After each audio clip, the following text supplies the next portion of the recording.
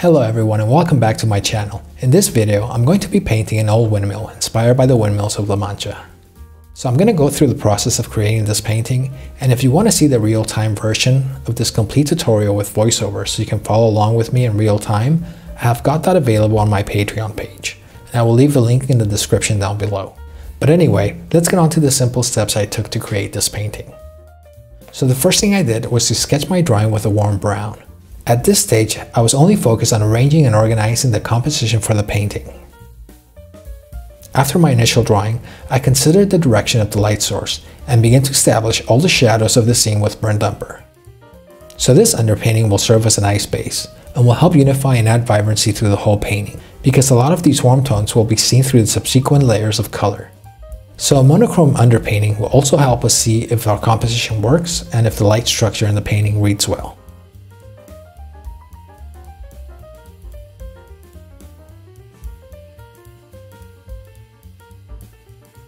After my underpainting, I start applying the layers of color.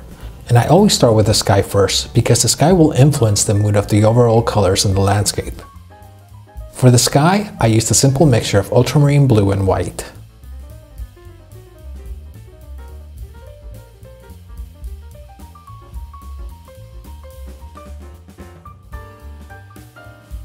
Next I started with the distant landforms near the horizon. To create a sense of atmospheric perspective, I try to get the sky and distant landforms to match in color and tonality as much as I can. To help things receding to the distance, I use neutral colors and soften the edges.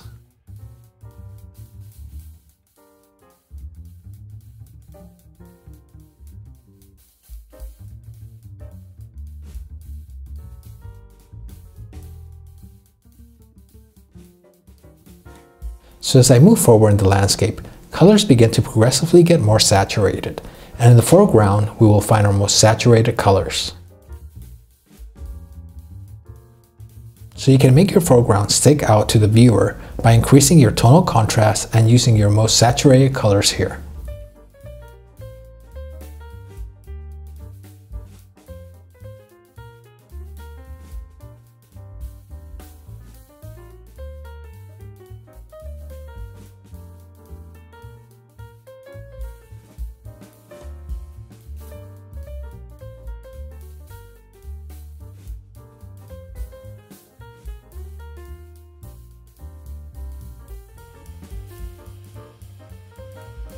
Now I move on to the windmill. I begin painting the windmill wall in shadow using a little burnt umber and raw sienna mixed with a little white.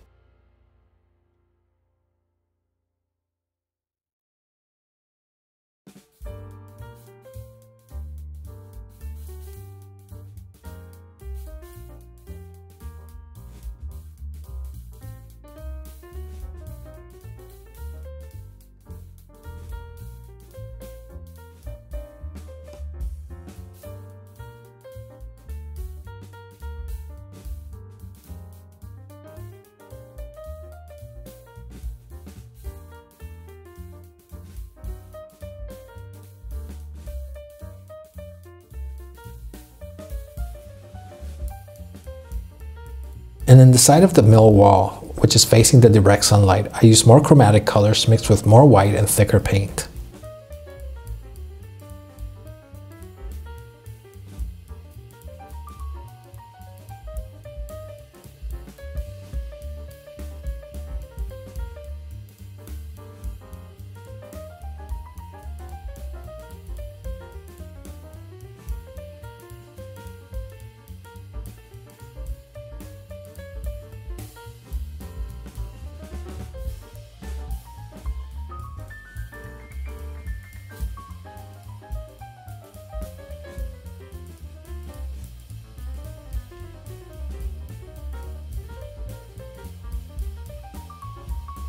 I add the shadows of the door and windows of the windmill with a rich transparent dark mixture of ultramarine blue and transparent brown oxide.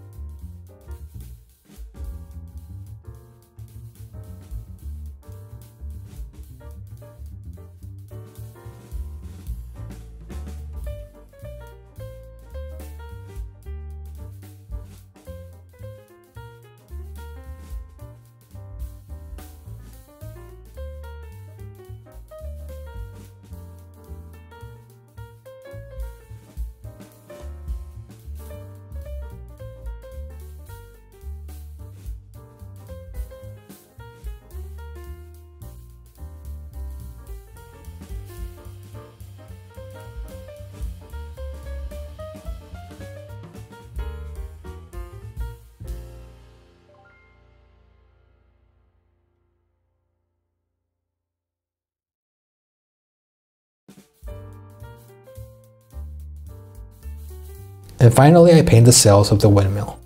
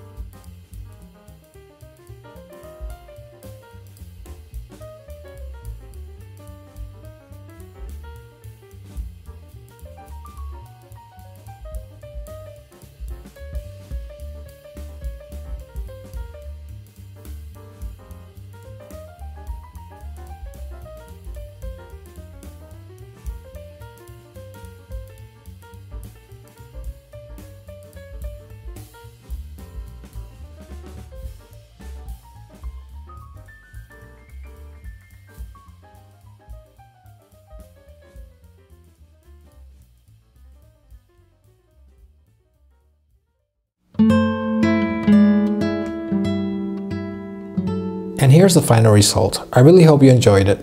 If you would like to see the full tutorial in real time, you can check out my Patreon channel. I hope you enjoyed today's video and I'll see you guys next time. Bye everybody.